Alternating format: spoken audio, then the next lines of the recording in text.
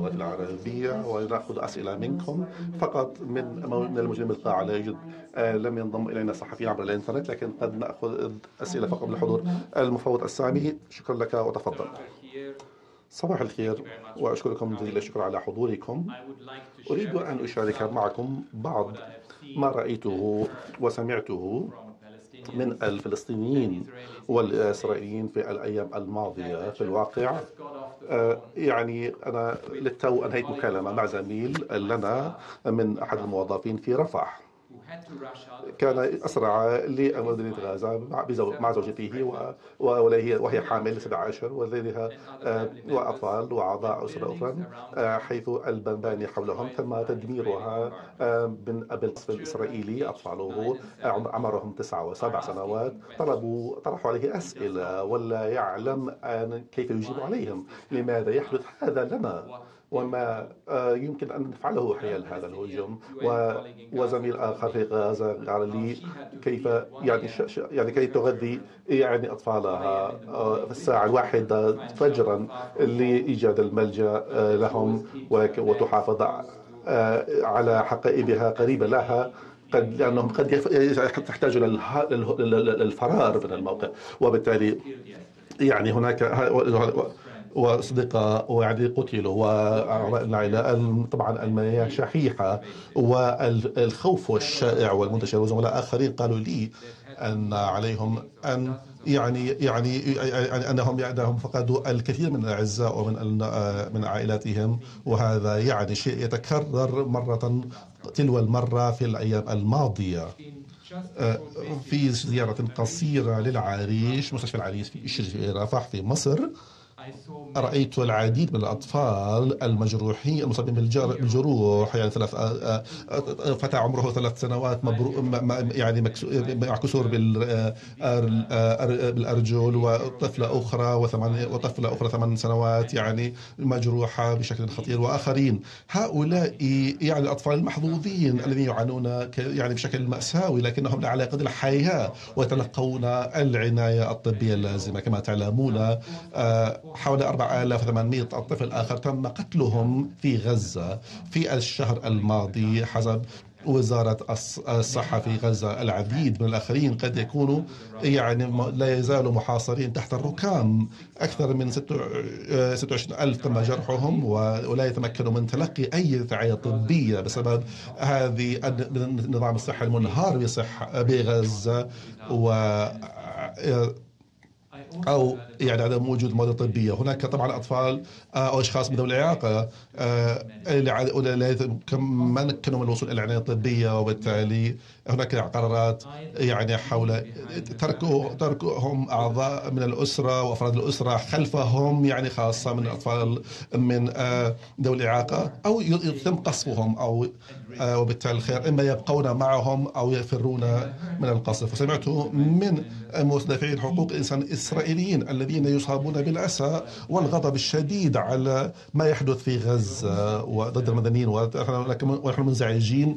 آه، آه، بل ما قاله زميل في إسرائيل أن لا يسمح لنا المظاهرة ضد آه، أو ضد الحرب ومع السلام وبالتالي لدينا حرية أقل. ونعلم ما المجتمع الذي سينشأ بعد هذه الحرب في إسرائيل. وسمعت أيضا من آه، يعني مدافعي حقوق الانسان من فلسطين خاصة آه، يعني عن مخاوف يعني وأكدوا لي عن فشلهم في وفشل المجتمع الدولي للإيفاء بالتزاماتها في المدافع آه، عن حقوق الإنسان وممارسة تأثيرهم آه، على تخفيف آه، معاناة المدنيين في هذه الأزمة. هذه الفظائع ضد المدنيين من قبل إسرائيل في أكتوبر يجب أن تشعرنا بالغضب جميعا ويجب أن يجب أن يكون محاسبة وعدالة ومعالجة لضحايا هذه الحرب وهذه الفظائع. وبالتالي يتم إعادة الأسرى أيضا والمعتقلين إلى ويجب أن يتوقف أيضا إطلاق الصواريخ على إسرائيل. من الواضح إذا أنه خلال يعني السلام والأمن لا يمكن تحقيقه من من خلال استهداف المدنيين الذين لا لديهم أي مسؤولية على وبالتالي بما في ذلك آه، الموظفين الامم المتحدة الموجودين هناك. عددهم 99 وهذا يعني غير مسبوق وبالتالي ويفطر القلب.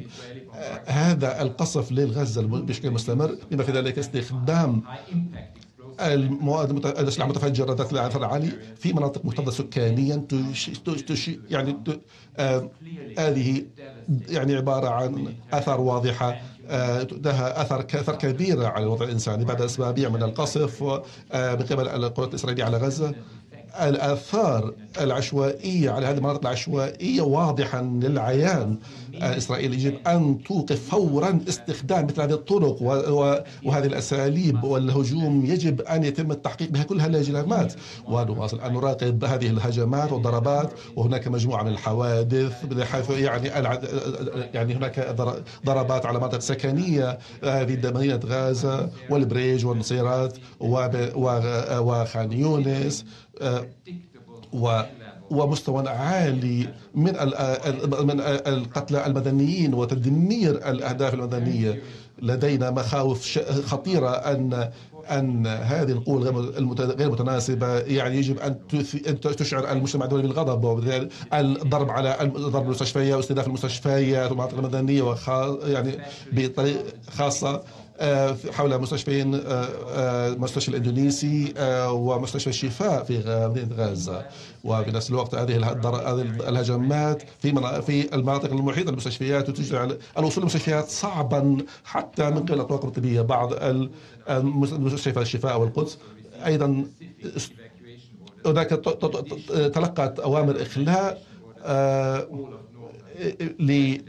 بما في ذلك سكان الشمالي غزة. وهذه هذا الوضع يعني ومنظمة الصحة العالمية آه، حذرت أن هذه عبارة عن حكم بالإعدام على هؤلاء السكان للخروج من مناطق من شمال غزة.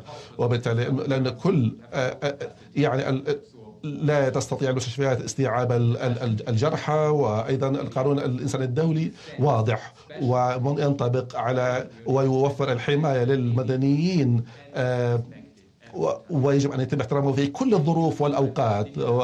وبالتالي هناك استهداف المدنيين الفلسطينيين وحمايتهم من الهجمات. هو يعني يعني هو بموجب يجب أن يتم بموجب هذه القوانين. وبالتالي على إسرائيل الالتزام لتضمن أن المدنيين لا يتم استهدافهم وبالتالي يجب هناك الحذر في هجماتهم وهناك أيضا احترام التناسب والفشل بذلك هو أيضا يعني ينافي القانون الدولي وله أثر مدمر على المدنيين. آه، من خلال الاستهداف آه، يعني الاستهداف الغازة ومواصلات الاستهداف والحصار المتواصل لأكثر من شهر جعل يعني على سكان غزة من الصعب أن يجدوا ضروريات الحياة للبقاء على الحياة. كل أشكال العقاب الجماعي يجب أن تنتهي.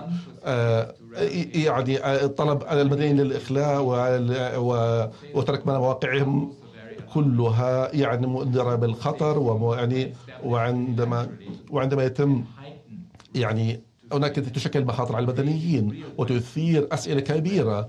حيث يمكن أن نضمن الأمن على أرض الواقع خلال الممارسات. لا يوجد أي مكان في غزة حاليا آه، يعتبر مكان آه، آمنا حيث القصف يعني على كافة مناطق القطاع. ويجب أن يكون من الواضح أن المدنيين يجب أن يتم حمايتهم وفق القانون الإنساني الدولي بغض النظر عن وجودهم. ما نحتاجه بشكل ملح وفوري. وذكرت ذلك مرات عديدة بما في ذلك في معبر رفح. في مصر. ما هو نحتاجه بشكل ملح هو الأطراف أن تتفق على وقف إطلاق النار على أساس يعني الضرورة الإنسانية الملحة مثل موضوع الغذاء والمياه لتوفيرها لمن يحتاج إليها بشكل ملح وبغض عن المكان في غزة. لكل أيضا آه، نفتح الممر الإنساني لإيصال كل المساعدات لغزة. وبالتالي من الملح أيضا على السلطات الإسرائيلية أن تأخذ إجراءات فورية لتحمي الفلسطينيين في الضفة الغربية حيث هناك يعني يتم تعرضهم بشكل يومي لهجمات عنيفة من قبل جنود الاحتلال والتخويف آه، والإذلال هذا العام. كان يعني أكثر السنوات دموية في الضفة الغربية والقطاع غزة حيث يعني أكثر من 200 شخص يعني آه، شخص قتل قبل 7 أكتوبر. وهناك كانت تحذيرات من قبلنا في السنوات الماضية منذ بداية أكتوبر. على الأقل 167 شخص بما ذلك 43 طفل وامرأة قتلوا في حوادث لها علاقة بجنود الاحتلال الإسرائيلي وهناك مدنيين آخرين قتلوا وأكثر من 2000 فلسطيني تم اعتقالهم واحتجازهم آه، في عمليات في الضفة الغربية ووثقنا حالات مثل هذه آه، هذا العام. القوات الإسرائيلية زادت يعني العمليات العسكرية وتكتيكاتها وعملياتها بالأمس فقط على الأقل. 14 شخص تم قتلهم من قبل القوات الإسرائيلية في مخيم جنين للاجئين. هناك أيضا يعني وفيات أخرى في الضفة الغربية وهناك عمليات فرض, القانون. يجب أن يتم إجراؤه وفق القانون قانون حقوق الإنسان الدولي. هناك أيضا زيادة كبيرة في العنف واستيلاء على الأراضي في الضفة الغربية أيضا من 7 أكتوبر تقريبا حول ألف فلسطيني من 15 مجتمع تم طردهم من بيوتهم في سياق هذه البيئة آه، النزوح آه، من هذه المجتمعات. يعني تشير آه، إلى انتهاك لاتفاقية جنيف. أطلب من السلطات الإسرائيلية أن تمتثل مع التزاماتها كجهة احتلال لحماية السكان الفلسطينيين وإصدار يعني أوامر واضحة لضمان حماية السكان الفلسطينيين ضد هذا العنف من قبل الجيش و وعلينا الامتثال مع هذه الأوامر. هي واجب إسرائيل أن تضمن أن كل هذه الحوادث يعني آه، يجب أن يتم التحقيق بها والضحايا يوفر لهم أيضا العدالة. و وأيضا الإفلات من العقاب هو أمر غير معقوب غير مقبول. وبالتالي هذا انتهاك لالتزامات إسرائيل لقانون الإنسان الدولي. وآمل آه، أنه سيكون هناك بالنهاية يعني ظروف أفضل ومساءلة أفضل ووثقنا كثير من الحوادث في الأشهر الماضية آه، حيث يعني تم منع آه، الفلسطينيين من آه، من آه، قطف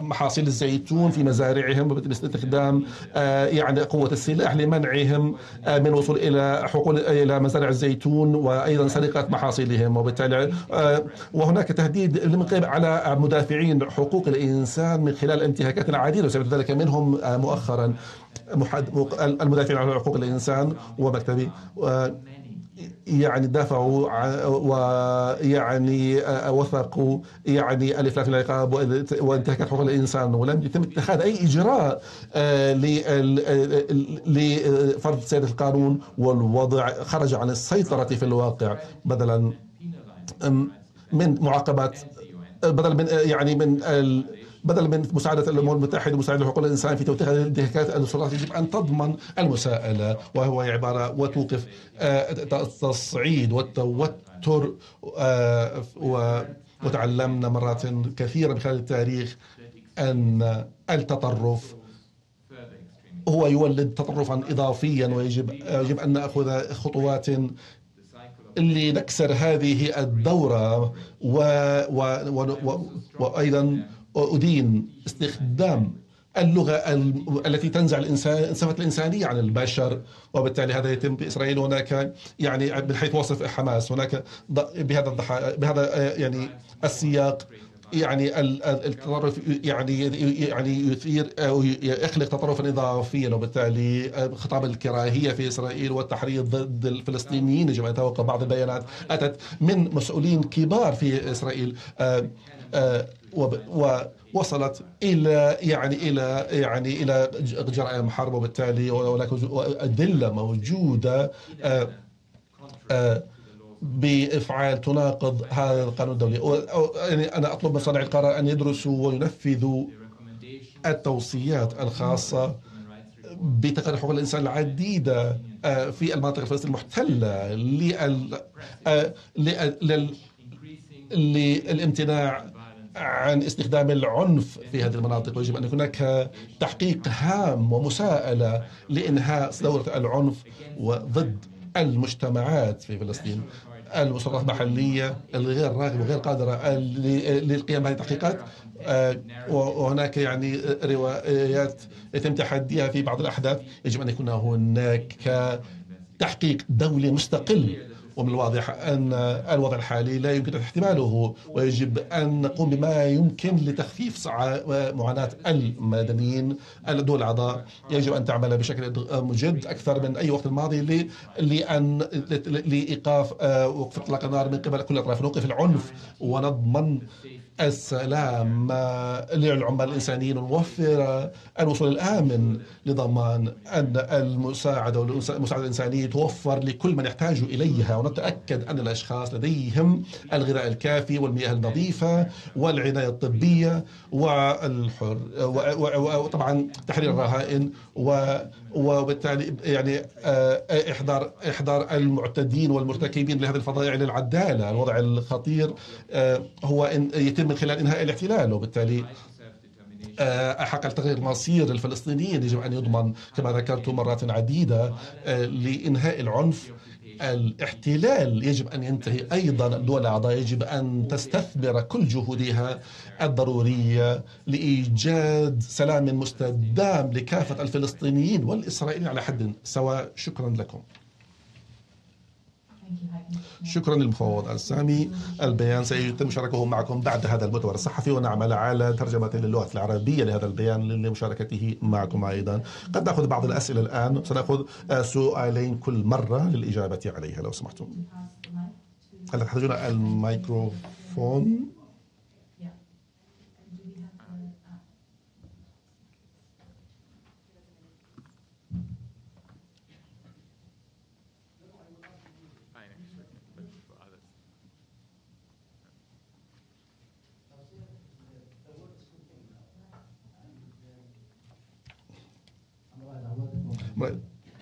رائد عواد من الجزيرة.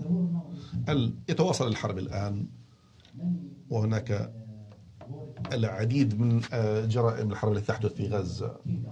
الملك عبد الله ذكر أن أنها حربا إجرامية والحكومة الأردنية أيضا ذكرت ذلك والعديد من المؤسسات ومؤسسات حقوق الإنسان ومنظمات حقوق الإنسان قالت أنه هناك العديد العديد من جرائم الحرب تحدث في غزة. ما هي تصورك الآن سيدي ما الذي ستقومون به بعد انتهاء الحرب؟ شكرا جزيلا لك. سؤال آخر.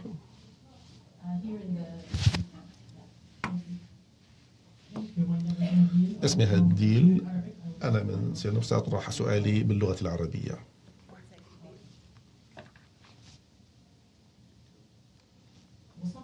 You described the attacks against uh, Gazans by Israel are atrocities and war crimes. Do you manage to describe what has been done by Israel?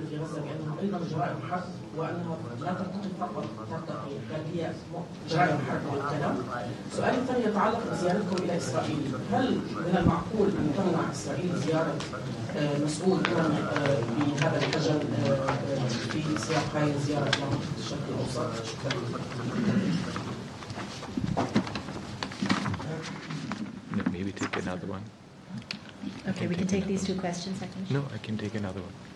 It's okay. Oh, we'll take another- three? Yeah, Oh. it's fine. We can take another one. Yeah, I know. This was the statement in the.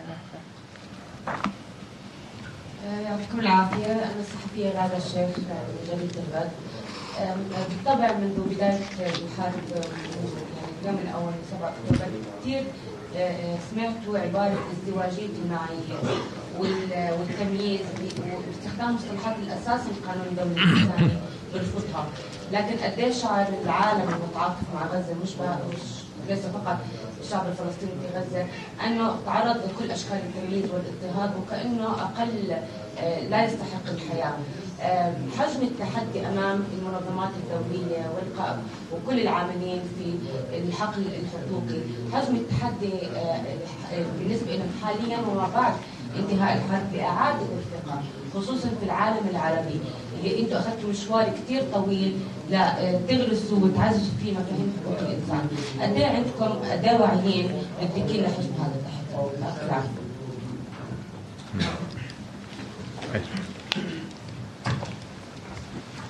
Look, it's clear من الواضح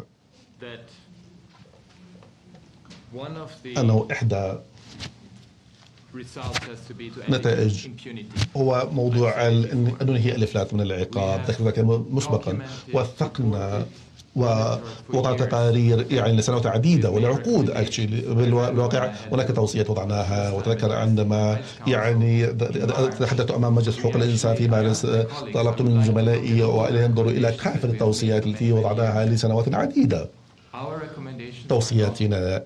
لم يتم الاستماع إليها وهذه مشكلة أعتقد أن العالم يجب أن يتعلم درسه من تجاهل آه، of a نتائج measure والتوصيات لسنوات عديدة التي قدمناها وعلينا أن ننفذها بالنسبة لي هو سؤال تنفيذ كافة ما آه، وضعناه أمام المجتمع الدولي خاصة عندما يأتي الأمر إلى إحضار المجرمين إلى العدالة و وموضوع المساءلة المساءلة نعلم بدون المساءلة وبدون ال- ال- الوصول إلى الحقائق والعدالة الإجتماعية كل هذا سينتهي بك المطاف بحرب وحرب وحرب. إذا أحد الأشياء التي آمل أن الكل يعمل عليه هو أن نضمن المساءلة. رأيتم المدعي العام للمحكمة الجنائية الدولية آه، وصل إلى المنطقة وينظرون إلى هذه الأوضاع وهي آه، والتي تعتبر مهمة جدا.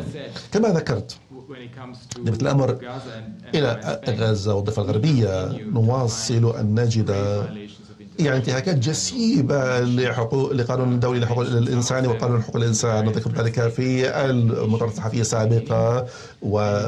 و... ومن المهم جدا أن نربط ذلك بالمساءلة وننهي الاحتلال. يجب أن نتأكد أن العالم يفهم ما الذي يحدث. عندما يأتي الأمر إلى زيارة لإسرائيل طلبت لزيارة إسرائيل والضفة الغربية وغازة ولا زالوا يدرسوا هذه هذا الطلب. عندما يأتي الأمر إلى المعايير المزدوجة. من المهم جدا خاصة عندما نستمع أس... آه، هذا السؤال أننا نعود إلى الأسس وال...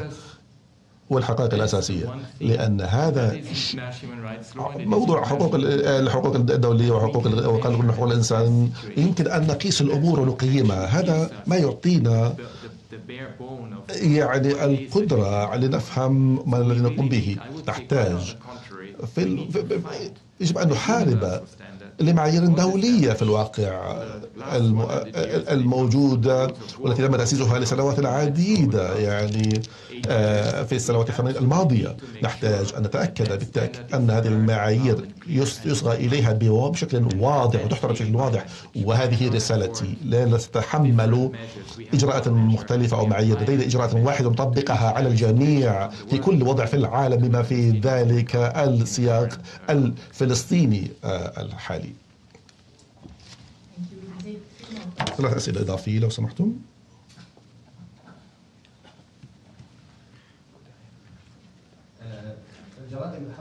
War crimes.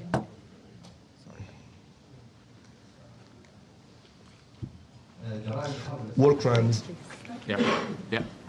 Yes, thank you. جرائم الحرب التي تفتح غزه نراها مستمرة ونرى المؤسسات الدوليه والمنظمات الدوليه عاجزة عن تحقيق اي قانون حقيقي لانقاذ الناس. هل اليوم المؤسسات والمنظمات الأمم المتحدة أصبحت عاجزة في بعض اللحظات خاصة عند بعض الدول لا تطبق آه، هذه حقوق الإنسان بينما على دول أخرى تطبق؟ شكرا يعني هذا وضع مؤسف مأساة يعني. شكرا.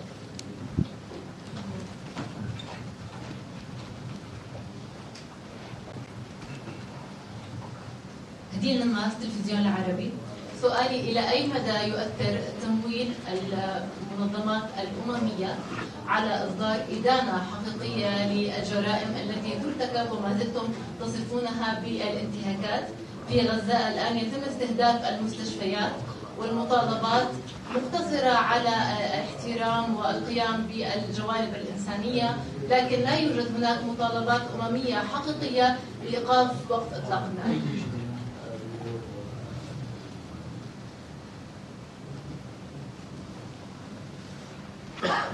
Another one? Please. Yeah.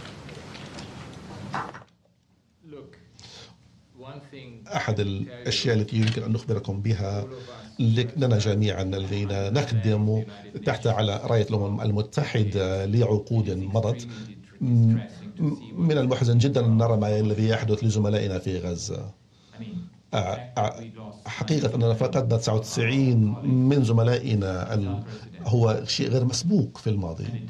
وهناك يعني وهي تحمل قصة بحد ذاتها حقيقة أننا في مدارس أونروا التي يجب أن تفترض أن تكون هي أماكن آمنة آه، للنازحين الذين يريدون أن يعني يحصلوا على الملاذ والمأوى لا يوجد لدي الأرقام الحقيقية لكن ما رأيته بالأمس أكثر من 600 شخص تم قتلهم في مدارس الأونروا وهذا شيء غير مقبول لأن هناك مبدأ ال- اللي يعني حصانة المباني الأممية و, و وتحدثت هذا الصباح لأحد زملاء لأحد زملائنا الذي قال لي أن زملاء آخر فقدت أخ- أخوها. هذا محزن جدا محزن ومؤلم للأشخاص أنفسهم ولكن أيضا مؤلم اللي أولئك الذين يع- يعني يعني يهتمون بهم ولزملائهم وعدم القدرة لنضمن آه، يعني من المحبط من المحبط جدا ان لا نستطيع القيام بشيء لا قيمه لك ومن المهم أيضا أن نقول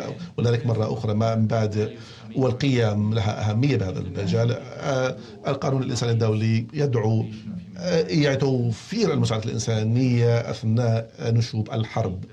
حقيقة أن لدينا أكثر من 400 شاحنة إلى غزة تظهر. أن الوضع أن هناك قضية خطيرة حول المساعدة الإنسانية التي تدخل إلى غزة وهذا يجب أن يتغير بشكل مباشر. نحتاج على الأقل أي مساعدة الإنسانية نحتاج إلى بالأقل إلى 100 شاحنة كل يوم للدخول إلى غزة بالغذاء الضروري والمستلزمات الطبية والمعدات الطبية والمياه. والربط بالكهرباء يجب أن. يجب أن نطالب بذلك وذلك على المستوى على أعلى المستويات الامم المتحده ومبنى وضعت يعني أنا وضحت ذلك من منظور حقوق الإنسان نحتاج إلى وقف إطلاق النار لتوفير المساحة اللي للمساعدات للمساعدات الإنسانية لأن تصل ونجد أيضا حلا سياسيا أيضا أكثر من أربع آلاف طفل تم قتلهم وأكثر من يعني ثلاث آلاف امرأة. كم عدد الأشخاص الذين لا يزالون تحت الأنقاض؟ بالتالي يجب أن نجد حلا طارئا لهذه الأزمة. عندما ياتي الأمر التمويل للأمم المتحدة أصدرت يعني طلبا من الجانب الإنساني مؤخرا وسمعنا ليس لدي الأرقام الحقيقية قد نعود لكم بهذه الأرقام. الواضح أن التمويل مطلوب بشكل ملح وفوري ولكن هذا شيء موضوع الاستجابة الإنسانية هي شيء ولها علاقة لها بكل العمل الذي نقوم به على مستوى على مستوى حقوق الإنسان. الاستجابة الإنسانية هي جانب مهم ويتم وفق المبادئ الإنسانية ولذلك تحتاج إلى تمويل بالتأكيد لكن يتم الأمر إلى الجوانب الأخرى العديدة. هذه هذا عمل آخر للأمم المتحدة لست هنا مخولا بالحديث عني. هناك يعني زملاء اخرين قد يتم تفصيله يعني شكرا. شكرا لكم. سؤال أخير. أخ... سؤال أخير.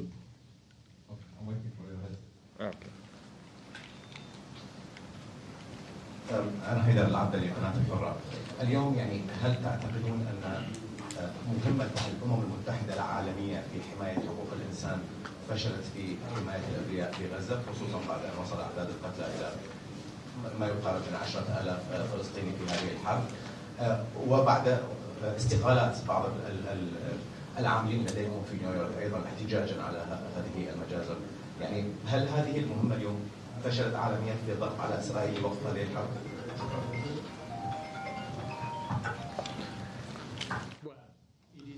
طبعا من الواضح أن كل دولة عضو للأمم المتحدة لديها تأثير على إسرائيل وعلى حماس أو شخص مشارك بهذا الحرب. يجب أن يضغط على من أجل إنهاء الحرب. إنما الأمر إلى ما تقوم به الأمم المتحدة نفسها. آه كما ذكرت لكم حقيقة أننا فقدنا زملاء لنا في هذا الحرب. هذا شيء مهم جدا وبالتالي ومحزن الأمم المتحدة دائما موجودة. الأمم المتحدة كنحن ك كموظفين هنا موجودين هناك لنقوم بأقصى جهودنا لتخفيف المعاناة وتوفير المساعدة الإنسانية والاستجابة الإنسانية ونحتاج إلى الدول الأعضاء الآخرين وبالتالي لن ننجح وبالتالي هي مسؤولية للدول الأعضاء ليقوموا بعملهم بشكل طارئ ومستعجل. شكرا جميع جزيلا لكم جميعا.